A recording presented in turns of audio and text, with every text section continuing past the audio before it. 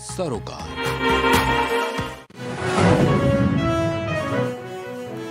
जम्मू कश्मीर में target killing की कई घटनाओं में शामिल प्रॉक्सी संगठन टीआरएफ, अनेक कमांडर आतंकी घोषित। पाकिस्तानी सुरक्षा बलों ने 11 आतंकियों को ढेर किया। वजीरिस्तान में सर्च ऑपरेशन के दौरान कमांडर हफीजुल्लाह तोरे भी मारा गया। पुतिन ने सीज फायर का ऐलान किया है। 6 से 7 जनवरी को रूसी सेना यूक्रेन पर हमले नहीं करेगी। दूसरे टी ट्वेंटी में भारत श्रीलंका से हारा। टीम इंडिया ने सात नो बॉल फेंकी हर्षदीप ने नो बॉल की हैट्रिक लगाई।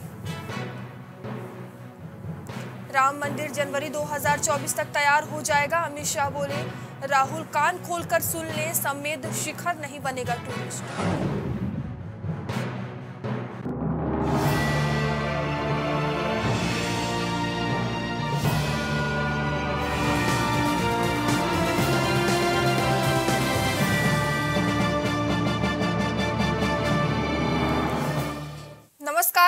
मयूरी श्रीवास्तव, आप देख रहे हैं प्राइम टीवी। वक्त हो गया उत्तर प्रदेश की बड़ी खबरों का। खबर लखनऊ से है, जहाँ पोस्टल ग्राउंड में यूपी महोत्सव का भव्य कार्यक्रम आकर्षण का केंद्र बना हुआ है। वहीं कार्यक्रम के आयोजक ने जानकारी देते हुए बताया कि कई वर्षों से इस प्रकार का महोत्सव कार्यक्रम किया जा रहा है, जहाँ दूर दराज से लोग मेला देखने आते हैं। साथ ही कई सांस्कृतिक कार्यक्रमों और नए नए हथकरथा वस्तुओं को अपने दैनिक जीवन में समायोजित कर रहे हैं।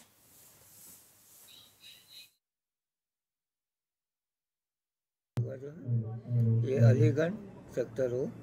केंद्रीय विद्यालय के सामने प्रोग्राम चल रहा है। ये प्रोग्राम जो है नौ जनवरी तक जो है चलेगा जो है। और इसमें जो है विभिन्न प्रकार के जो है खान पान के स्टॉलें लगाई गई हैं जो कि कई स्टेटों से आई हुई हैं। बच्चों के लिए झूले की व्यवस्था की गई है जिसमें परिवार के साथ लोग आए। बच्चों के साथ घूमने, टहलने, मेले का आनंद उठाएँ जो है, झूला झूले जो है। सांस्कृतिक प्रोग्राम भी लगाए गए हैं, जो है, कल्चरल के कार्यक्रम जो है, भोजपुरी, ब्रज अवधि और बुंदेलखंड के कार्यक्रम जो है, उत्तर प्रदेश की चार भाषाओं के अनुरूप जो है। खबर लखनऊ से है, जहाँ स्वच्छ भारत मिशन नगरी 2.0 के तहत यूपी को स्वच्छ बनाने के लिए नगर विकास विभाग ने स्वच्छ ढाबा अभियान की शुरुआत की है, जिसके निदेशक स्थानीय निकाय के दिशा निर्देश में की गई, जहाँ निदेशक ने वर्चुअल बैठक के ज़रिए निकाय के अधिकारियों को इस अभियान से ज़्यादा से ज़्यादा भागीदारी करने के निर्देश दिए। उन्होंने कहा कि शासन के निर्देश पर प्रदेश के सभी सात सौ बासठ निकायों में चलने वाले स्वच्छ ढाबा अभियान की शुरुआत की गई। स्वच्छ सर्वेक्षण 2023 के दृष्टिगत यह अभियान तीन महीने तक चलेगा।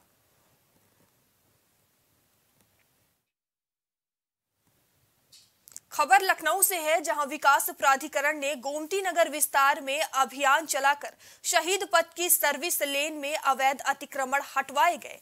इस क्रम में दुकानें, गिमटी ठेले और झुग्गी झोपड़ी समेत तीन दर्जन से अधिक अस्थायी अतिक्रमण को ध्वस्त कर सड़क खाली कराई गई।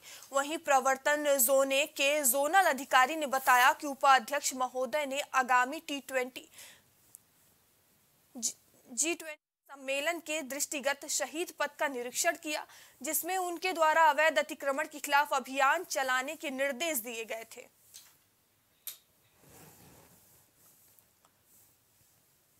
धर्म की नगरी प्रयागराज के संगम तट पर हर साल लगने वाला दुनिया का सबसे बड़े सालाना धार्मिक आयोजन माघ मेला आज 6 जनवरी से पौष पूर्णिमा के स्नान पर्व के साथ शुरू हो गया है। संगम की रेत पर एक महीने तक चलने वाले कल्पवास की भी शुरुआत हो गई है। मेले के लिए संगम की रेती पर अलग से तंबुओं का शहर बसाया गया है। साथ ही इस बार सुरक्षा के बेहद खास इंतज़ाम भी किए गए हैं। वहीं योगी सरकार ने इस बार के माघ मेले को 2025 के महाकुंभ के रिहर्सल के तौर पर आयोजित करने का फैसला किया है।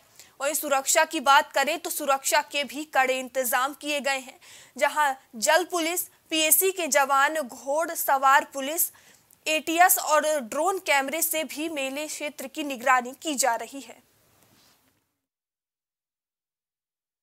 बहुत इसका ये है भैया, हमारे पुराने आजा बाबा युवा संस्था से बहुत दिन से काफ़ी से अन्न क्षेत्र है ही। ये चल रहा है अन्न क्षेत्र, इसको बोलते हैं जितने श्रद्धालु लोग हैं, यहाँ पे आते हैं, पौष पूर्णिमा नहाते हैं, एक महीना कल्पवास ये लोग करते हैं। एक महीना कल्पवास करते हैं, लोग जितने गरीब हैं, दुखिया है, ब्राह्मण हैं, सबको दान दक्षिणा करते हैं। जाके टेंट बाड़ा पे जो ब्राह्मण पंडित पंडा लोग हैं, टेंट चले आए। उसी का हम लोग अनुकरण कर रहे हैं। हम लोग सीतापुर से आए हैं। और आज संगम तट पर अपने पुत्रों पत्नी के साथ आए स्नान करेंगे। और आज से मांग बात की एक महीने की स्नान है। छः तारीख से शुरू है छः जनवरी से और पाँच फरवरी तक अनवरत चलेगी।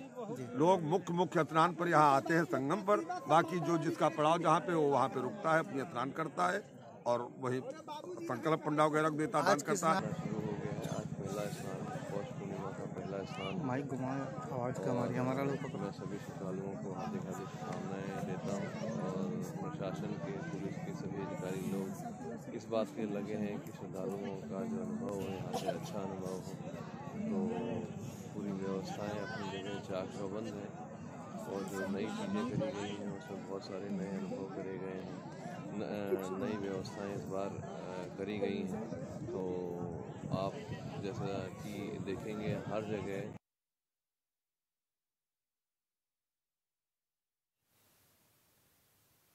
खबर गाजियाबाद से है, जहाँ ट्रोनिका सिटी थाना क्षेत्र में जमीनी विवाद को लेकर दो पक्षों में विवाद हो गया।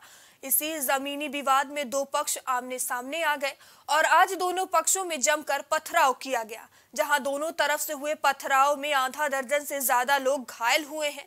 वहीं घटना की सूचना मिलते मौके पर पहुँची पुलिस ने चार लोगों को हिरासत में ले लिया है और पूरे मामले की जाँच में जुट गई है। दो पक्षों में विवाद हो गया। उस विवाद की जानकारी होने पर पुलिस तत्काल मौके पर पहुँची। मौके से तीन लोगों को हिरासत में ले लिया गया है। उनसे पूछताछ की जा रही है। अभियोग पंजीकृत कर कठोरतम विधिक कार्रवाई की जाएगी।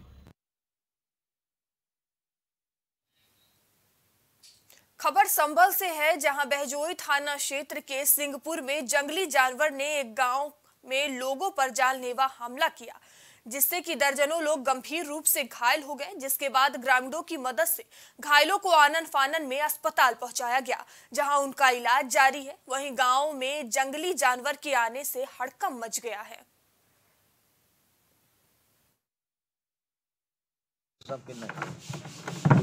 जागी ना बोलो कुत्ता हो या भैया हो या काची कितने लोगों काट लिया आपके गाँव में? काटो चार पाँच आदमी। छह आदमी है। पिल्ला काट ले बच्चों कितने काटे बच्चों के?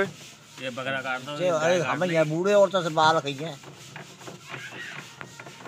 भैया कुत्ता भाई पर ना खबर भैया या केते काटे। यही घटना है। तो ये आपका बेटे का क्या नाम है इसका? जाके जित- जितेंद्र अच्छा हाँ जय पापा को नाम है नन्हे भी जेल में बेटा दो साल है भाई। अच्छा। खबर औरैया से है जहाँ कल्याणपुर थाना क्षेत्र के पास खेत से घर जा रहे एक वृद्ध को कुछ लोगों ने घायल कर दिया। जिसके बाद थाना अध्यक्ष को तहरीर देते हुए वृद्ध के बेटे ने बताया कि उसके भाई और भतीजे शाम को खेत से घर वापस आते वक्त गाली गलौज करने लगे जिसका विरोध करने पर सभी मारपीट करने लगे जिससे कि वृद्ध गंभीर रूप से घायल हो गया। वहीं इस मामले पर थाना अध्यक्ष ने बताया कि तहरीर के आधार पर जाँच जारी है। थाना? एरवा कटरा कटरा। एरवा कटरा। क्या मामला आप देर रात थाना? हमारे आदमी आते पुरखा हमारे पानी लगाए थे तो पता नहीं जी का दुश्मन नानद एकदम फोरा लेके छूट पड़े। कौन? रामचंद्र राम कई अपने लड़कों थे। चलाइयो तो लला हो जाए मार तो लियो आइयो तो। तो दिपुआ आओ बचके हैं वो कुलारी पकड़े और देख लो परवीना आओ।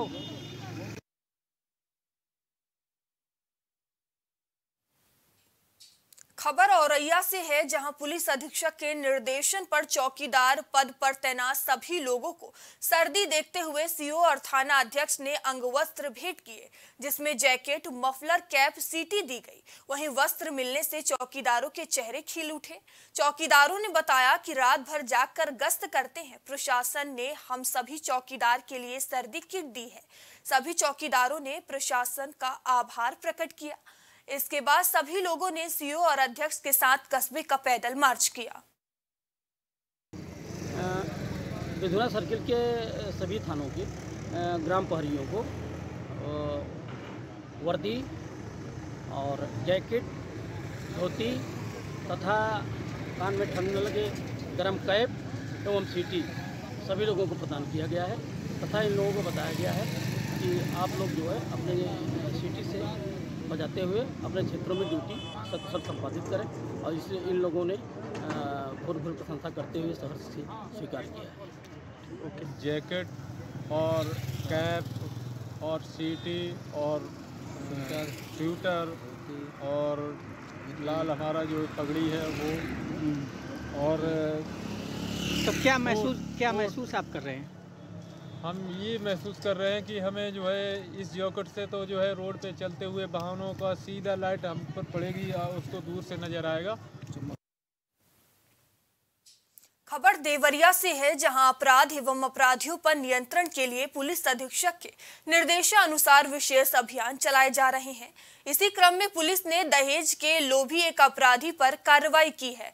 आपको बता दें कि आरोपी ने दहेज के लालच में पत्नी की हत्या की थी, जो कि भागने की फिराक में था, जिसे पुलिस ने गिरफ़्तार कर जेल भेज दिया है।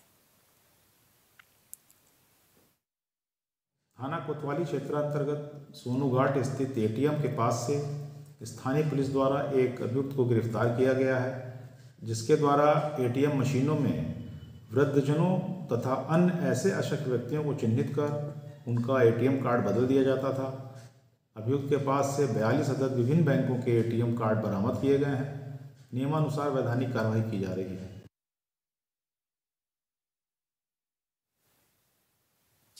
खबर मैनपुरी से है, जहाँ बेबर ब्लॉक में सरकार के कराए गए विकास कार्यों की समीक्षा करने के लिए चौपाल लगाकर जिला अधिकारी ने समीक्षा बैठक की।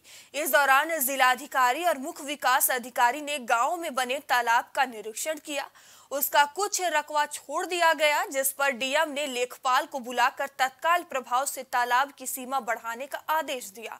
इसके बाद सरकारी राशन डीलर की दुकान पर स्टॉक रजिस्टर और गोदाम की बारीकी से जिलाधिकारी ने जाँच की साथ ही कई अन्य जगहों पर निरीक्षण किया।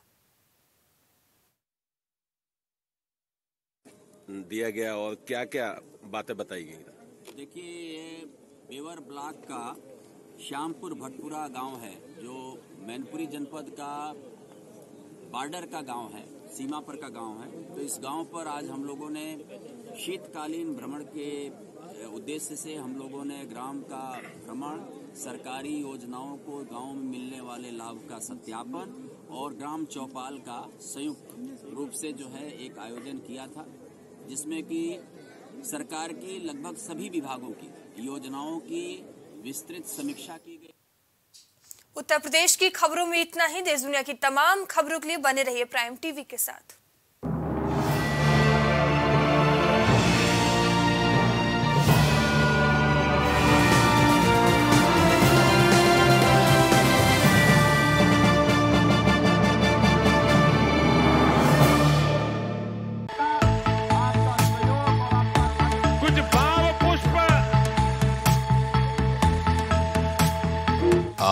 देख रहे हैं प्राइम टीवी सच साहस।